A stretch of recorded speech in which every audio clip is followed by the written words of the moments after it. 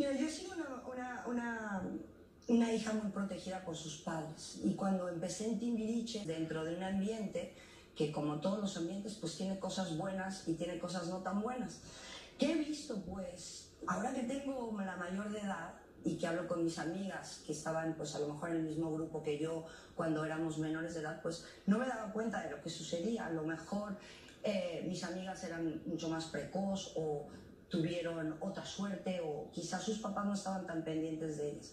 Las cosas que se escuchan el día de hoy y que una mujer pueda tener la valentía para denunciar o para acusar a alguien, pues es algo increíble de admirar. No te puedo contar cosas muy específicas porque no me gusta. Pero mi mamá me dio las buenas herramientas y la educación para que a partir de los 18 yo pueda ser independiente y pueda decir basta o pueda acusar o pueda decir a mí no. Hola amigos y amigas, bienvenidos a Mucho Chisme. Pues les cuento que Paulina Rubio, que se encuentra promoviendo su gira en Estados Unidos, concedió una entrevista a la cadena Univisión, donde pues le preguntaron del tema en cuestión, del tema del momento, que es las declaraciones de Sasha acusando a Luis de Llano, quien ese entonces era su productor, su manager del grupo Timbiriche, grupo donde estuvo pues Paulina Rubio, Sasha convivieron muchos años, ¿no?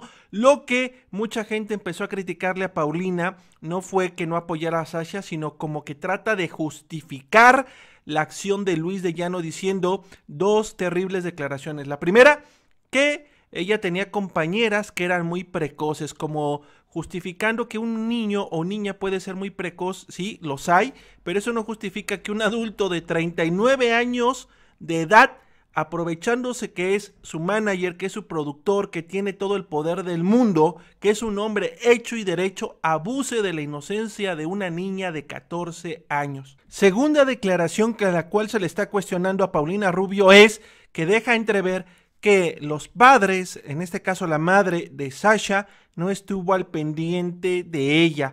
La verdad, cuando se trata de estos casos siempre hay que ponerse, hay que entender, comprender a la víctima. En esta ocasión es una niñita de 14 años que tenía toda la ilusión de triunfar, de ser cantante. Su madre confió en un tipo en el cual no tenía que confiar. Su madre, al enterarse de esto, la envió lejos.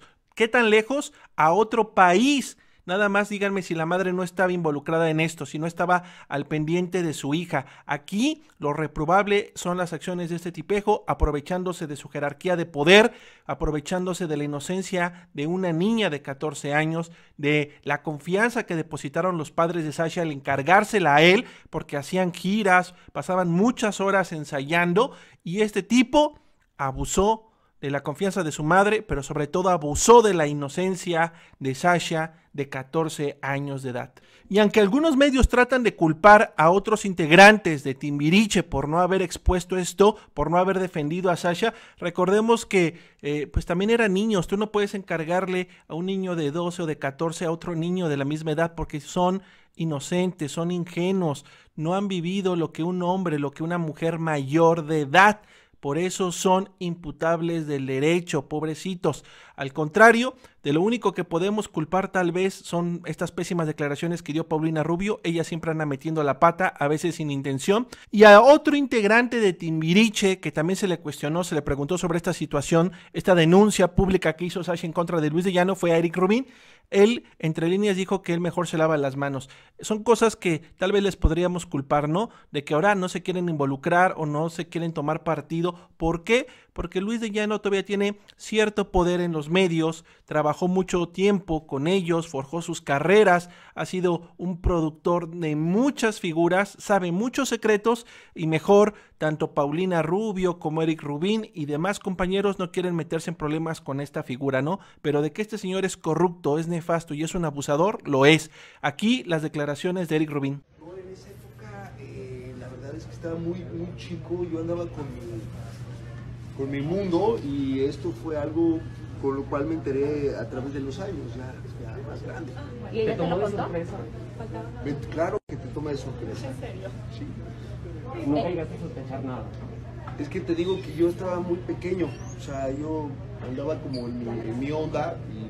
¿Te enteraste después y qué fue lo que ella te comentó? ¿Cómo te Ella no me comentó nada, este, esto es algo que realmente no recuerdo cómo fue que me enteré, de esto, pero como te vuelvo a decir, a mí no me gustaría, eh, pues sí, meterme en, en más opiniones. Normalmente a veces pueden usar alguna parte de lo que tú dices, ¿no? Y nomás lo único que quiero decir es que es mi hermana, yo la apoyo, ¿no? Y ahí, ahí estoy para ella. Oye, Te pues tú tienes hijas también, ¿cómo manejas todo esto?